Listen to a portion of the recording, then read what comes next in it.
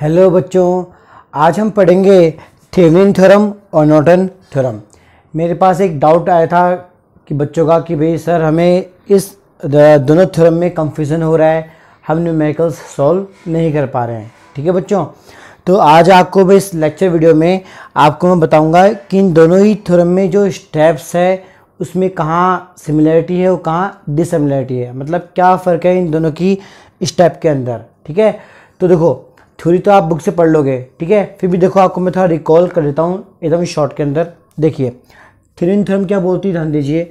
जब किसी रेखिक जाल में, रेखिक जाल में कोई लोड प्रतिबाधा लोड प्रतिबाधा जुड़ी हुई होती है, जब किसी रेखिक जाल में कोई लोड प्रतिबाधा जुड़ी हुई होती है तो उस जाल में तो उस जाल में सभी स्रोतों के लिए सभी स्रोतों के लिए एक तुल्य वोटता स्रोत, एक तुल्य वोटता स्रोत, जिसे हम क्या बोलते हैं? वी इक्विवेलेंट ठीक है?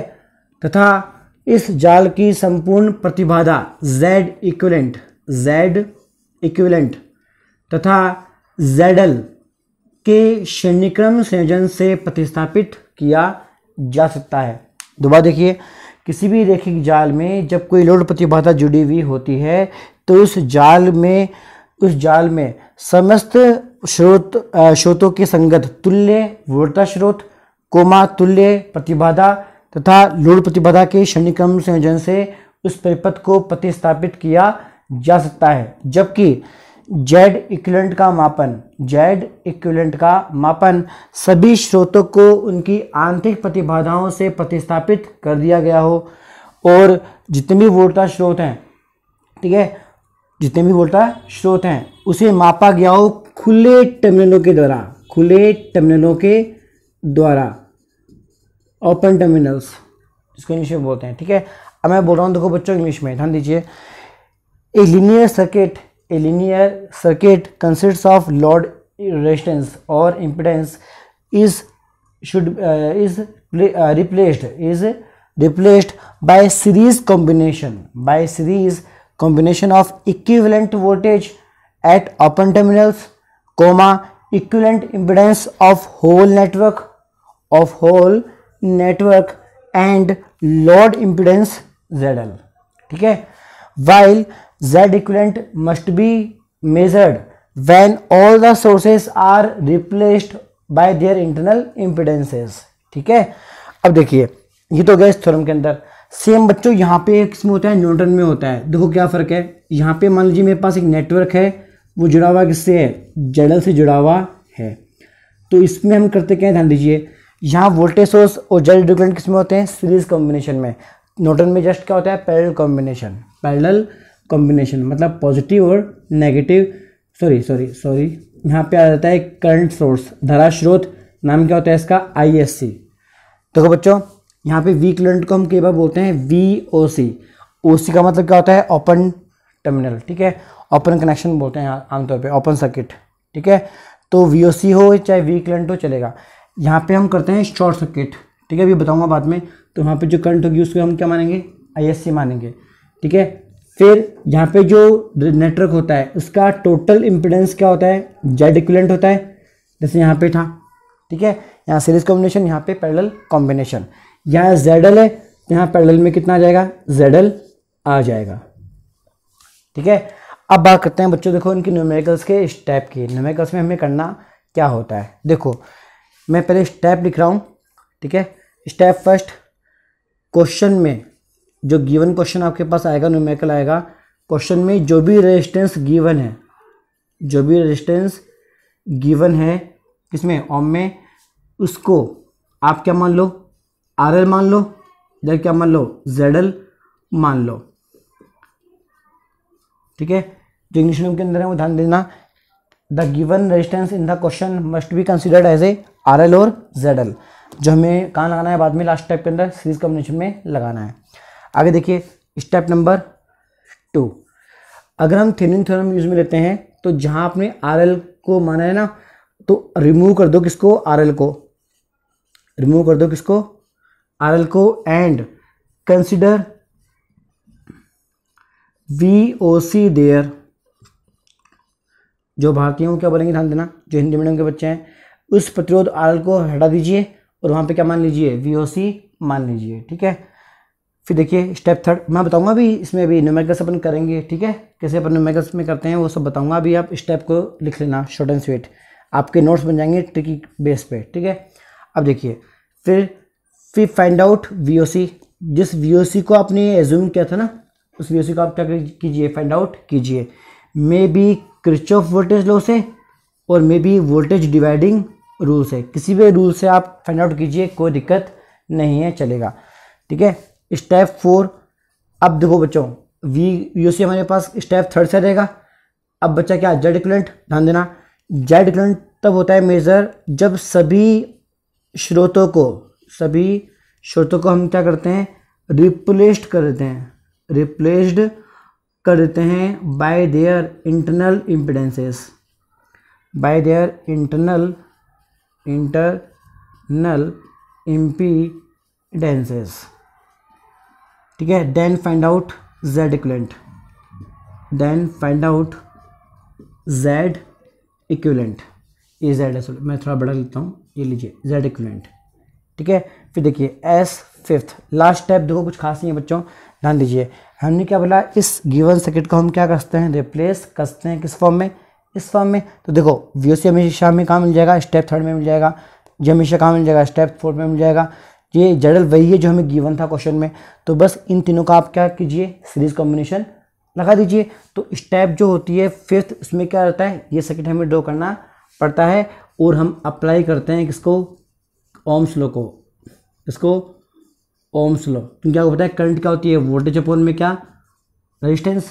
तो वोल्टेज तो कितना हो जाएगा? वी ओ सी रेजिस्टेंस कितने हैं? दो रेजिस्टेंस है। और दोनों सीरीज़ में तो क्या आएगा? Z L plus Z equivalent ठीक है?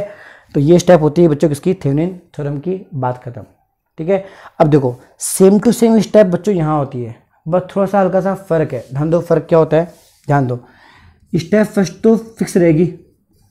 सेम टू सेम जैसे थेनिन नोटन थ्योरम का कोई भी न्यूमेरिकल जब आता है तो जो भी क्वेश्चन में जो गिवन रेजिस्टेंस है, उसका क्या मान लो? आरएल या फिर जेडएल मान लो स्टेप फ़र्स्ट फिक्स हो जाएगी।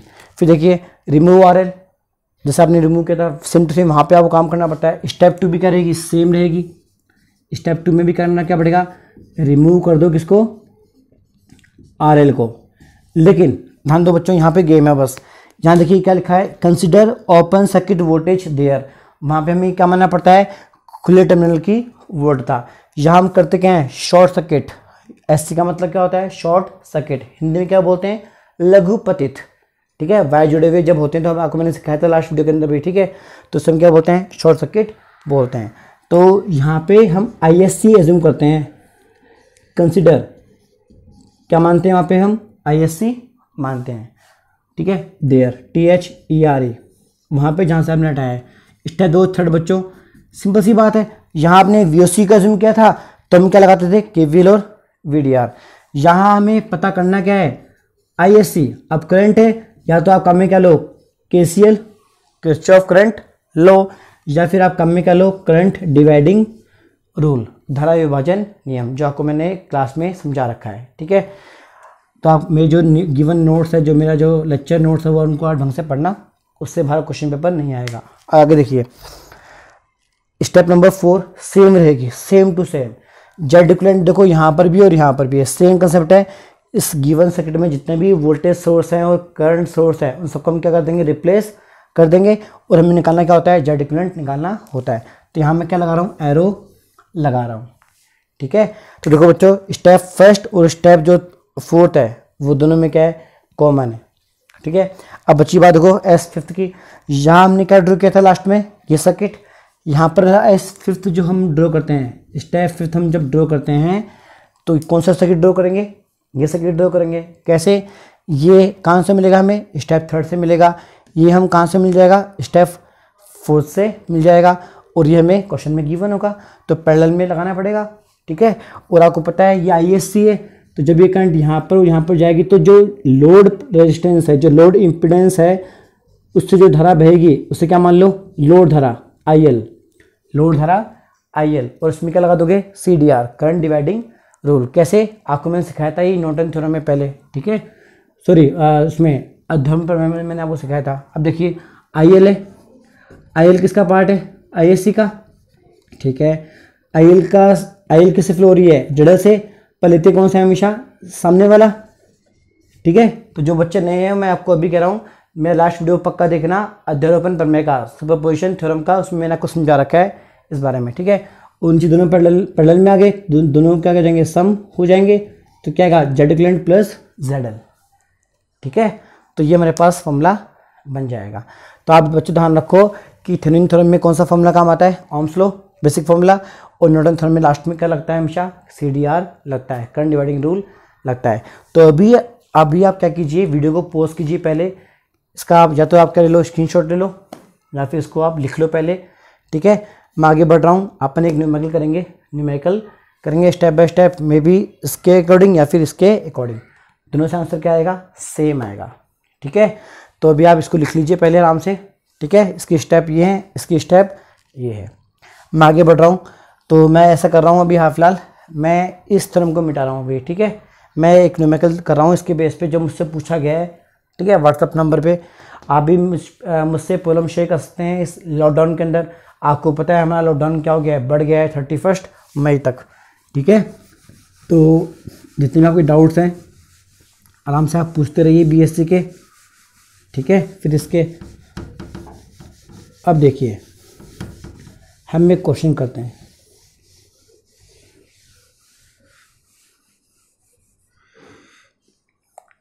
देखो बच्चों हम यहाँ ऐसा मानते हैं कि हमारे पास एक सर्किट है मान लीजिए। मेरे पास एक बैटरी गिवन है। क्या गिवन है एक? बैटरी या सेल मान लीजिए कोई दिक्कत नहीं है। आ, ये मान लीजिए कितने वोल्ट का है? फाइव वोल्ट मान लें। ठीक है। और यहाँ मेरे पास एक रेजिस्टेंस है। यहाँ भी मेरे पास एक रेजिस्टेंस है। यहाँ भी मेरे पास एक रेजिस्टेंस है। और यहाँ मेरे पास एक एक और क्या रेजिस्टेंस है। ठीक है? जी। अब मान लीजिए यहाँ भी मेरे पास वन ओम है। यहाँ मेरे पास टू ओम है यहाँ मेरे पास थ्री ओम है यहाँ मेरे पास क्या है? फोर ओम है। ठीक है? और देखिए क्वेश्चन में क्या है? ध्यान देना। क्वेश्चन की लैंग्वेज में पूरी अभी लिख नहीं पाऊँगा। मेरा बोर्ड थोड़ा छोटा है। मैं क्वेश्चन बोल देता हूँ short and sweet examine resistance के अंदर कोई भी रेजिस्टेंस कोई भी रेजिस्टेंस आपको दे देगा वो। ठीक है? जैसे उसने कहा, मान लीजिए कि फोर ओम से फोर ओम से प्रवाहित धारा का मान, प्रवाहित धारा का मान ज्ञात कीजिए किसके द्वारा? थेनिन थ्योरम के द्वारा। जो बच्चे इंग्लिश मीडियम के हैं, वो ध्यान देना क्या लिखेंगे? Determine the current through the resistance four ohm through the resistance four ohm by using Thevenin theorem ऐसा क्वेश्चन आता है, ठीक है? अब कोई भी रेजिस्टेंस पक्का देगा। अब देखिए, अब बिना डरे, बिना घबराए, बेवजह मेरे जो स्टेप्स हैं, उनको आप फॉलो कीजिए। आंसर अपने आप आ जाएगा छठ मार के। देखिए स्टेप फ़र्स्ट क्या थी? क्वेश्चन में जो गिवन रेजिस्टेंस होता है, उसे हमेशा हम क्या मानते हैं? लोड रेजिस्टेंस मानते हैं। और स्टेप टू में इससे हम क्या करते हैं? सर्किट से रिमूव कर देते हैं। और जहाँ से रिमूव करते हैं, वहाँ पे हमेशा हम क्या मानते हैं? ओपन सर्किट वोल्टेज मानते हैं। ठीक है? खुले टर्मिनल की वोल्टता मानते हैं। ठीक है? तो मैं भी जो ड्रॉ कर रहा हूँ, मैंने दो स्टेप एक साथ कर रहा हूँ। ये दोनों स्टेप मैं क्या कर रहा हूँ? एक साथ परफॉर्म कर रहा हूँ। दो कैसे?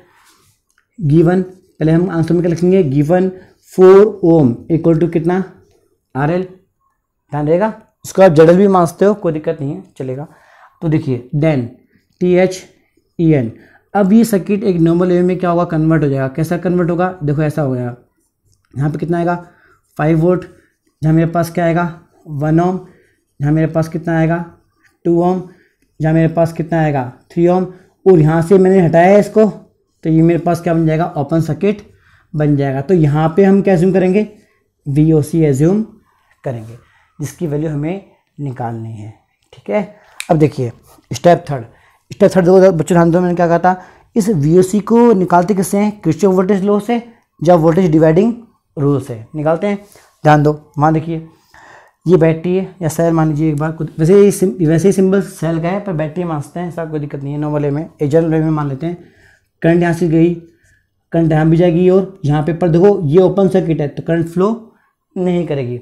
बच्चों, हमेशा भूल मत जाना सर्किट थ्योरी का एक ही कंसेप्ट होता है, जिस ब्रांच में, जिस रेजिस्टेंस में करंट फ्लो नहीं होती, वो हमारे लिए वायर क्या है? यूजलेस है। क्या है?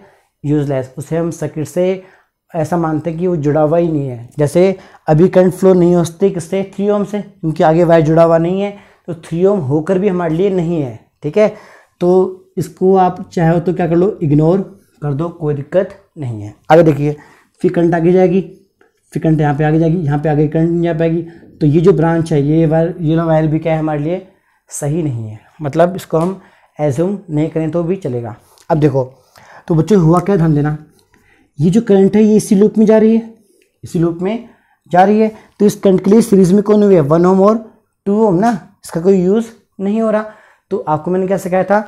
V D R voltage dividing rule अगर ये वाला वायर और ये वाला वायर काम में नहीं आ रहा यूजलेस है तो इस वी को हम डायरेक्टली क्या मानते हैं कि ये कहाँ पैदा हो रही है, कहाँ प्रोड्यूस हो रही है, इसके ऊपर। तो इस वीओसी को हमने कहा मान लिया? यहाँ मान लिया, ठीक है?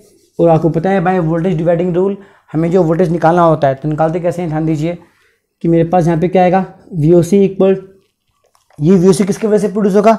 इस वोल्टेज की वजह से प्रोड्यूस होगा। तो कितना आएगा? फाइव वोल्ट ठीक है? ये वी ओ सी कहाँ पैदा हो सकता है? अभी पॉसिबिलिटी कहाँ है? यहाँ पे होगी। तो कितना आएगा? टू ओम के ऊपर। अब ये दोनों बंदे किसमें रेजिस्टेंस में है। तो क्या आएगा? टू प्लस वन तो टू प्लस वन तो देखो आप कितना आएगा? टेन बाई थ्री वोल्ट ये मेरे पास वैल्यू हो जाएगी किसकी? वी ओ सी की। तो यहाँ मेरे पास जो वी ओ सी आया है, वो कितना आया? टेन बाई थ्री वोल्ट आ गया। ठीक है? अब देखो नेक्स्ट स्टेप देखते हैं। ये थर्ड स्टेप होगी। अब आगे देखिए। क्या लिखा है all the sources are replaced by their internal impedances सभी स्रोतों को उनकी आंतरिक प्रतिबाधाओं से हम क्या कर दें? प्रतिस्थापित कर दें। तो ये बैटरी है अभी हटेगी। तो आपको सुपर पोजिशन थ्योरम में आपको मैंने सिखाया था, बैटरी कैसे हटती है? शॉर्ट सर्किट से हटती है हटती है। ठीक है? तो यहाँ पे क्या आएगा? शॉर्ट सर्किट रहेगा। यहाँ पे कितना? वन ओम यहाँ पे कितना आएगा? टू ओम और यहाँ पे कितना था हमारे पास? थ्री ओम जहाँ पे कोई वायर नहीं था, ये हमारे पास क्या खुला टर्मिनल था। तो यहाँ हम क्या मानेंगे? जेड इक्वलेंट थोड़ा बड़ा कर देता हूँ मैं इसको। एक मिनट रुकिए, ये लीजिए। जेड इक्वलेंट अब देखिए बच्चों सिंपल सी बात, ध्यान दीजिए। ये मेरे पास रेजिस्टेंस है। ये दोनों, ये इसके पैरल में आएगा नहीं आएगा। तो पैरल का दोनों का जो इक्वलेंट रेजिस्टेंस है, वो क्या बनेगा? टू इंटू वन अपन में टू प्लस वन फिर इनका पैरेलल कॉम्बिनेशन इस थ्री ओम के साथ किसमें है? सीरीज़ कॉम्बिनेशन में है। तो प्लस का थ्री ओम तो ये मेरे पास क्या बन जाएगा? जेड इक्वलेंट बन जाएगा। तो कितना आएगा? Two plus three plus three. तो कितना आएगा बच्चों? ग्यारह बटे तीन ओम। तीन तीन नौ नौ प्लस दो, ग्यारह। ग्यारह बटे तीन ओम। क्या जाएगा? जेड इक्वलेंट की वैल्यू आ जाएगी। तो बस हमारा आंसर आने को है। देखो कैसे ये पूरी स्टेप फुल हो चुकी है। लास्ट स्टेप में मैंने क्या कहा था? ये हम डायराम ड्रो करते हैं। तो देखिए मैं इस स्टेप को मिटा रहा हूँ अभी हाल फ़िलहाल, ठीक है? अब हमारा आंसर आने वाला है बच्चों। तो आपको डरना डरना नहीं इस बुक से। इस बुक में कंसेप्ट हैं बस। इस बुक में कंसेप्ट हैं। उनको आपको समझना पड़ेगा। स्टेप्स को ध्यान रखो जैसे आप मैथमेटिक्स में डिफेंशियल क्वेश्चन के मेथड को आप क्या करते हो, समझते हो। ठीक है? आगे देखिए। तो जड, जडल हमारे पास कितना था? कितना था अभी? फोर ओम था। ये हमने निकाल लिया। कितना है हमारे पास अभी? ग्यारह बटे तीन ओम आ गया। तो बस हमें क्या कहा था उसने? चार ओम से प्रभावित धारा का मान the current flowing through the resistance four ohm. तो फोर ओम ये रहा। तो पॉजिटिव से करंट निकलती है तो करंट कैसे जाएगी? ऐसे जाएगी। फ्लो होती रहेगी। तो बस, ये जो मैंने आपको कहा था ओम स्लो ये आप इसमें क्या कर दोगे? अप्लाई करोगे। तो आई कितना आएगा? V O C we O सी कितना है हमारे पास? टेन बाई थ्री नीचे क्या आ रहा है? जेड एल कितना है? फोर फिर कितना आ रहा है? जेड इक्वलेंट ग्यारह बटे तीन। तो देखिए कितना आएगा? Ten by three twelve by eleven upon में कितना? Three. Three three cancel out हुआ। ये टेन, यहाँ पे कितना? Thirty twenty three. तो ten by twenty three ampere. ये बच्चा हमारे पास क्या आ गया? इसका आंसर आ गया। चाहो तो अब आप क्या करना? अब नोटन थ्योरम की स्टेप्स को आप फॉलो करना। ठीक है? इसी क्वेश्चन के अंदर, इसी क्वेश्चन के अंदर ये डेफिनेटली है कि आगे पास आंसर कितना आएगा? Ten by twenty three ampere ही आएगा।